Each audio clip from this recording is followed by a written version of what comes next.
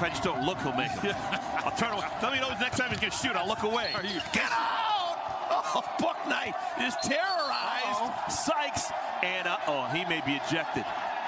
Bouknight got a little bit too excited about the block.